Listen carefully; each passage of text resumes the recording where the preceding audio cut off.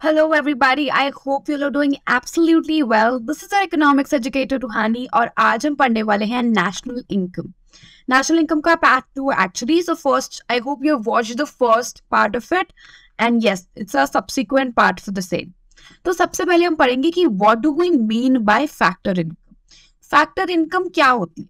So basically factor income को हम जब डिफाइन करते हैं तो उसका मतलब होता है कि it refers to the income receive by factors of production for rendering factor services in process of production मतलब कि एक ऐसी इनकम जो आपको अपनी कोई सर्विस देने पर ही मिल रही है। So you are basically earning it you not getting it किसी भी तरह से बट उसके लिए आप एक्चुअली काम कर रहे हो। तो इसका एग्ज़ाम्पल जैसे क्या हो सकता है कि जो कॉम्पनसेशन एम्प्लॉयज़ को मिलती है because they rendering their services क्योंकि वो सपोज़ हम लेबर की बात करें तो लेबर अपनी सर्विस देगा, जिस कारण उसे अपने वेजेस मिलेंगे।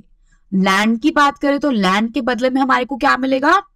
रेंट मिलेगा रॉयल्टी मिलेगी right so that is what is factor income ना अब हम ट्रांसफ़र इनकम की बात करें तो ट्रांसफ़र इनकम एक ऐसी इनकम है, जो आपको एक it's not an earning concept it's like an unearned income मतलब कैसे?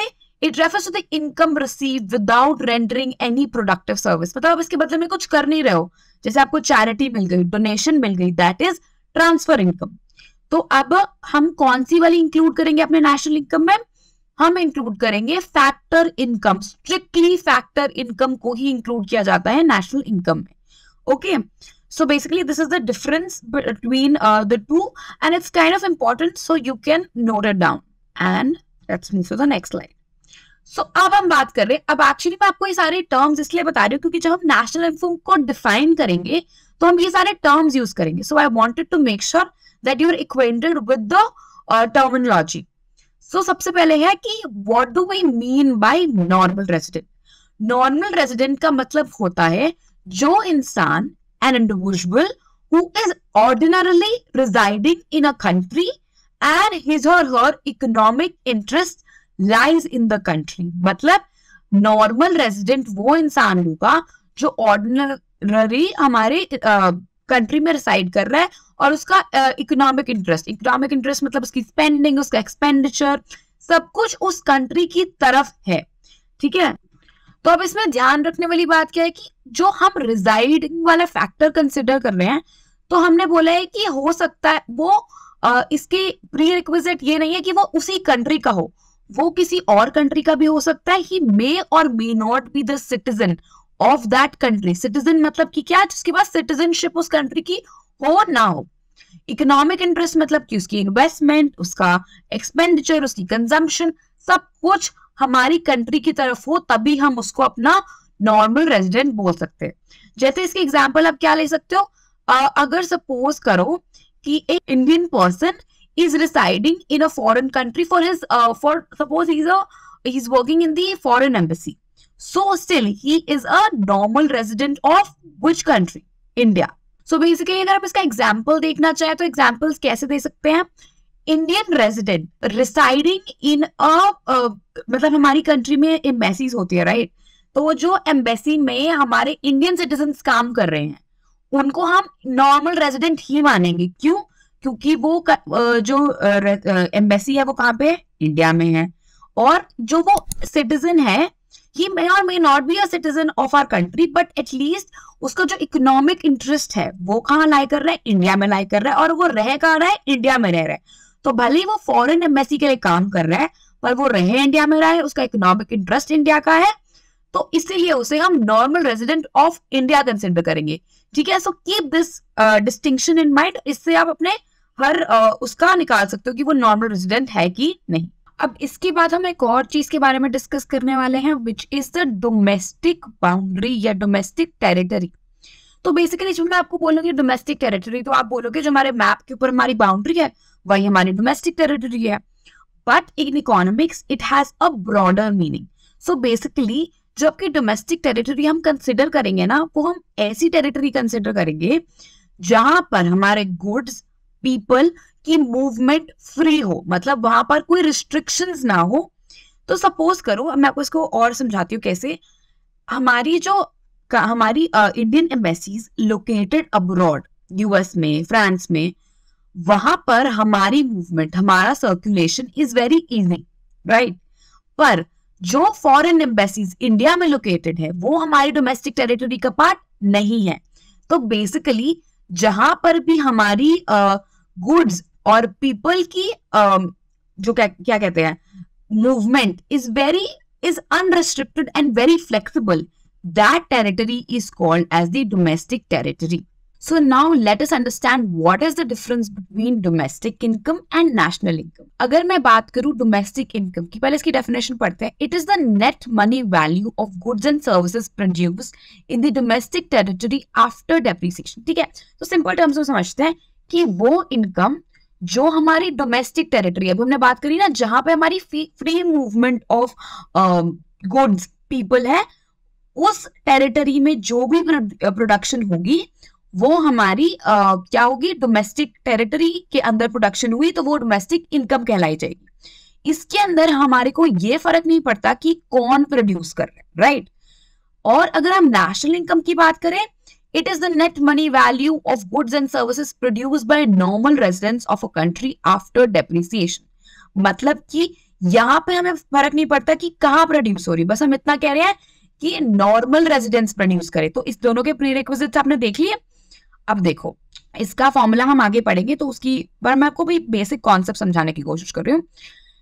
इसके अंदर क्या क्या है कि income earn by Indian citizen in India income earn by foreign nationals in India तो हमें फ़र्क नहीं पड़ता कि क्या कौन प्रोड्यूस कर रहा है, हमें सिर्फ़ टेरिटरी से फ़र्क पड़ता है। यहाँ पे हम क्या बोलते हैं? Income earn by Indian citizen in India वो तो इंक्लूड होगी। Income earn by Indian national outside India ठीक है अब हमें यहाँ पे किससे फ़र्क नहीं पड़ रहा कि कौन प्रोड्यूस कर मतलब हमारे को इस पर फ़र्क क्या पड़ रहा है कि कौन प्रोड्यूस कर रहा है पर हमारे को जगह का फ़र्क नहीं पड़ रहा।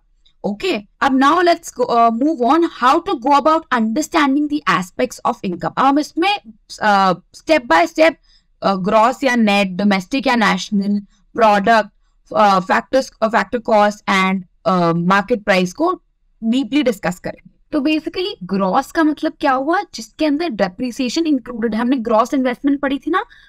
वैसे ही ग्रॉस का मतलब हुआ जिसके अंदर डेप्रिसिएशन इंक्लूडेड है। नेट का मतलब हुआ कि जिसमें डेप्रीसिएशन नहीं इंक्लूडेड है।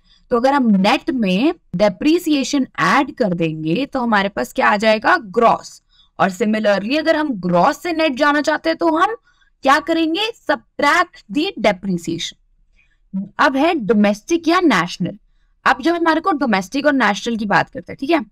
डोमेस्टिक और नेशनल के डिफरेंस को हम क्या कहते हैं? एन एफ़ आई ए मतलब net factor income from abroad मतलब नेट फैक्टर इनकम का, इसका भी आगे bifurcation I just write it down तो बेसिकली जब हम डोमेस्टिक और नेशनल का मैं आपको यही बता रही थी तो हम इसमें एन एफ़ आई ए की बात करते हैं। मतलब net factor income from abroad उसका डिफरेंस कैसे कैलकुलेट करते हैं हम? Factor income from abroad minus factor income to abroad मतलब जो फैक्टर इनकम हमारी बाहर से इंडिया में आ रही है, कैसे जो इंडियन सिटीजन बाहर रहते हैं, उन्होंने इंडिया के लिए कमा के यहाँ भेजी है माइनस जो यहाँ पे इंडिया में जो हमारे नॉन रेजिडेंट्स रहते हैं, उन्होंने अपनी कंट्री में भेजी होगी। तो उसका डिफरेंस क्या होता है? Net factor income from abroad तो जब हम डोमेस्टिक में एन एफ़ आई ए को ऐड कर देते हैं तो हमारे पास क्या जाता है? नेशनल और सिमिलरली नेशनल से डोमेस्टिक पे जाना है तो सब ट्रैक करेंगे। अब हम बात करते हैं factor cost of market price तो बेसिकली इनके बीच का डिफरेंस को हम कैसे कैलकुलेट करते हैं? नेट इनडायरेक्ट टैक्सेस के थ्रू तो नेट इनडायरेक्ट टैक्सेस कैसे हम कैलकुलेट करते हैं? इनडायरेक्ट टैक्सेस माइनस सब्सिडीज तो आपको पता है कि सब जो इनडायरेक्ट टैक्सेस होते हैं, उससे हमारी जो प्रोडक्ट का प्राइस बढ़ जाता है और सब्सिडीज से प्राइस का प्राइस कम होता है। तो उन दोनों के डिफरेंस को हम बोलते हैं नेट इनडायरेक्ट टैक्सेस तो जब हमारे को फैक्टर कॉस्ट मतलब जिस ऑलमोस्ट हम बोल सकते हैं कि कॉस्ट ऑफ़ प्रोडक्शन पे जो प्रोडक्शन हुई है, उस पर कैलकुलेट करना है तो हम फैक्टर कॉस्ट पे निकालेंगे। अगर उसमें हम नेट इनडायरेक्ट टैक्सेस ऐड कर देते हैं तो हम मार्केट प्राइस पे पहुँच जाते हैं। तो बेसिकली कि फैक्टर कॉस्ट से अगर हमारे को मार्केट प्राइस पे जाना है तो हमारे को क्या ऐड करना है? Net indirect taxes and market price से फैक्टर कॉस्ट पे जाना है तो minus net indirect taxes you get it So now basically, I hope you've understood till here. If you have any doubts, please put them in the comments below. I'll be very happy to answer all of them. And अगर आप अभी तक video को देख रहे हैं तो make sure to like, comment, share and subscribe and share it with your friends also so that they also uh, get the benefit from this video. Okay. तो अब हम बात करते हैं नॉमिनल और रियल जीडीपी के बारे में तो नॉमिनल जीडीपी वो जीडीपी होता है जो कि आपकी करंट ईयर प्राइजेस पर निकाला जाता है। और रियल जीडीपी वो जीडीपी होता है जो कांस्टेंट ईयर प्राइसेस एक बेस ईयर मान लिया जाता है। उस ईयर के बेसिस उस ईयर के प्राइसेस के बेसिस पर आपका जीडीपी निकाला जाता है। अभी कैसे काम करता है? Let's study it is the market value of final goods and services produce within the domestic territory of a country during an accounted year as estimated at current year prices मतलब current year के जो prices है, जो अभी चल रहे हैं उन प्राइजेस पर ये निकाला जाए, ठीक है? उसके बाद जीडीपी एट कॉन्स्टेंट प्राइजेस को हम क्या कहते हैं? Real GDP it is using अब वो बेस ईयर कैसे कैलकुलेट किया जाता है? अब आप सोचते हो कि बेस ईयर तो ले लिया। कैसे? एक ऐसा ईयर टारगेट किया जाता है जिसमें हमारी पॉलिटिकल सिचुएशन हमारी इकोनॉमिक सिचुएशन रिलेटिवली स्टेबल थी, ताकि हमारे को एक रियल जजमेंट मिल सके। सो so बेसिकली अब हम इसकी लिमिटेशंस और इसकी गुड पार्ट को पढ़ते हैं। It can increase if the price level rises, even when there is no increase in the flow of goods and services. ठीक है? तो सपोज़ करो, आपका जीडीपी काफ़ी बढ़ के आया अब जीडीपी आपका या तो प्राइस की वजह से बढ़ेगा या क्वांटिटी प्रोड्यूस की वजह से बढ़ेगा। दो ही फैक्टर्स हैं। अगर क्वांटिटी में प्रोडक्शन बढ़ी है विच मीन्स हमारा एक्चुअल में, हमारी कंट्री में ग्रोथ हुई है। अगर प्राइजेस की वजह से बढ़ा है हमारा जीडीपी तो इसका मतलब है कि कुछ गड़बड़ है इन्फ्लेशन हो रहा है, कुछ प्रॉब्लम है, जिस वजह से it's not always wrong but you also need to understand कि अगर सिर्फ़ प्राइस के कारण हमारा जीडीपी बढ़ गया है, इसका मतलब यह है क्या कि हमारी प्रोडक्शन बढ़ी है no no.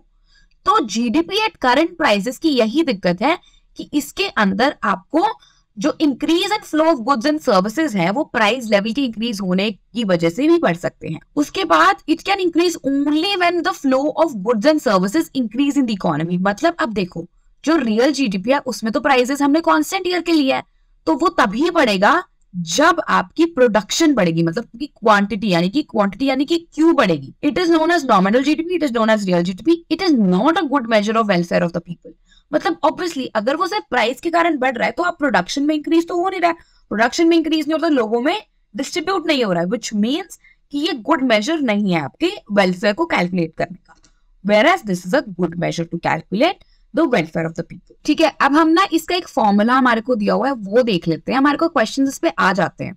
Nominal GDP is equal to real GDP into price index divided by hundred और जीडीपी डिफ्लेटर को हम कैसे कैलकुलेट करते हैं? GDP at current prices upon GDP at constant prices into hundred इसके ऊपर मैं आपको एक क्वेश्चन देती हूँ वो भी हम सॉल्व करते हैं।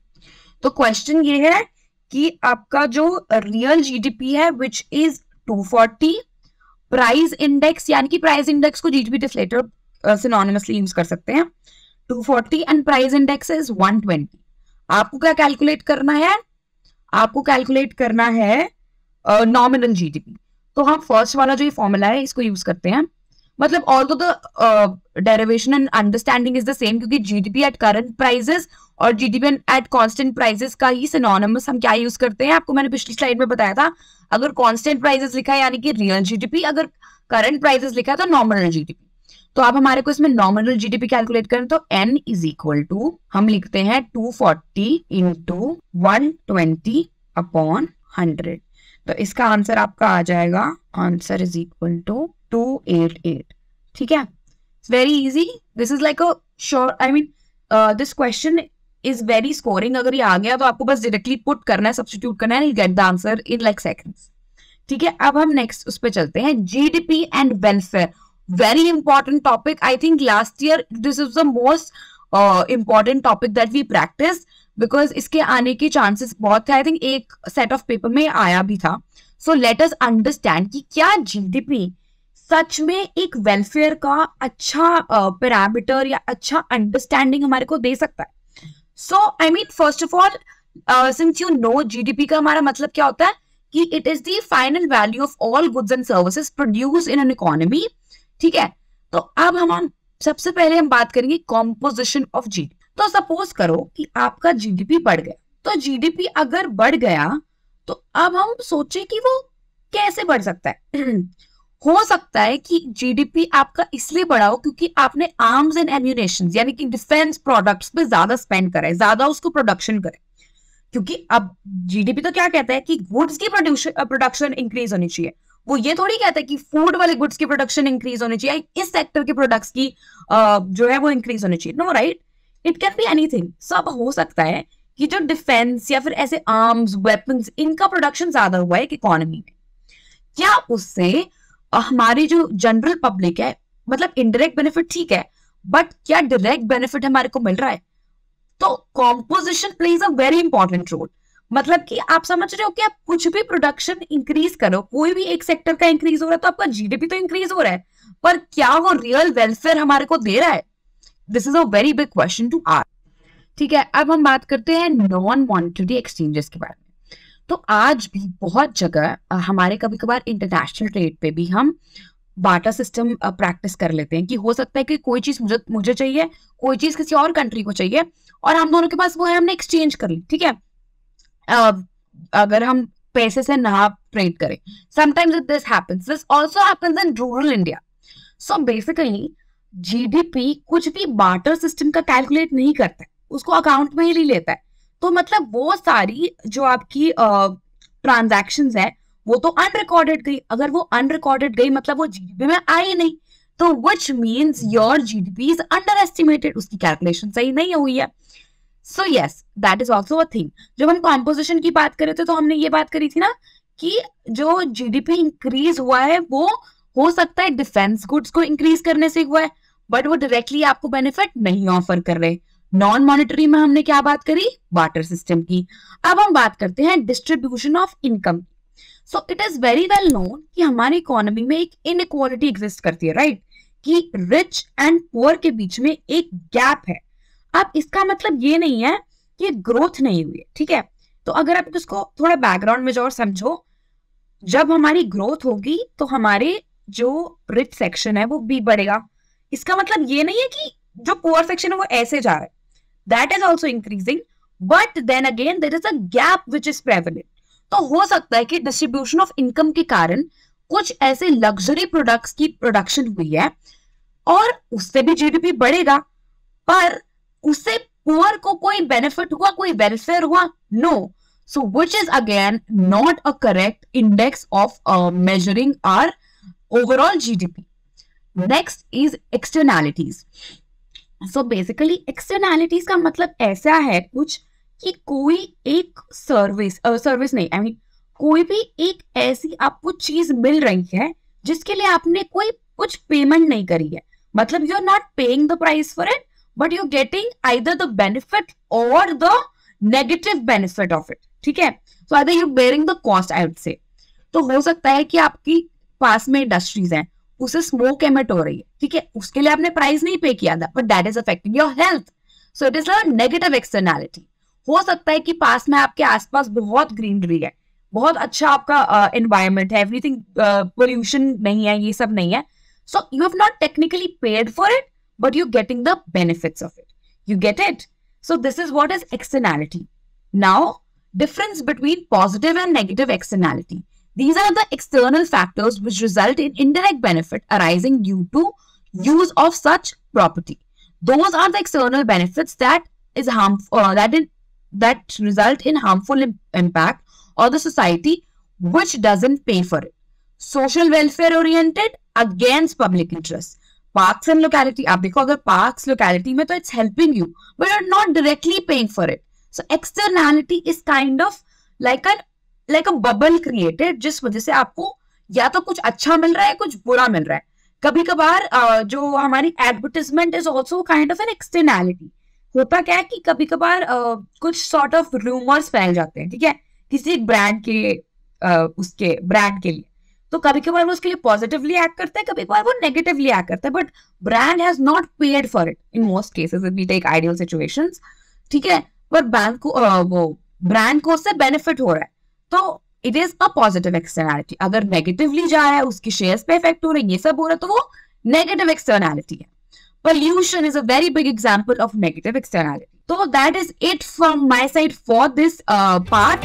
I hope you had um, an amazing time listening to it because I had an amazing time explaining it to you all. If you have any doubt, any problem, any queries, please write them in the comment. I would very, I would be very happy to answer all of them. And yes, till then, keep studying, keep revising, and you next time. Bye bye. Thank you.